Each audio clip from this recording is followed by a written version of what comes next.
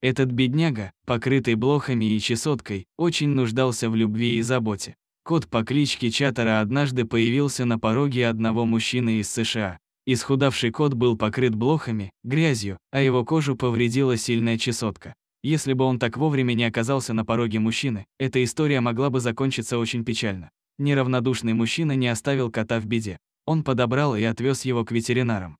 К сожалению, врачи нашли у Чатера много недугов, инфекции глаз и зубов. Однако, котик не сдавался. Чатера храбро переносил все процедуры и становился все сильнее с каждым днем. Команда делала все, чтобы этот котик поскорее поправился, и их забота ежедневно приносила плоды. Посмотрите, каким красавцем стал Чатера благодаря заботе и любви. После того, как Чатера вылечился, мужчина, который подобрал его, забрал его к себе.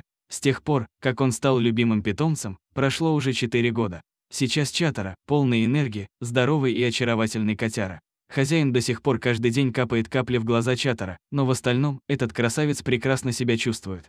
Эта история еще раз доказывает, что каждый может спасти животное с улицы и подарить ему новую жизнь. Спасибо доброму мужчине, который приютил Чатара.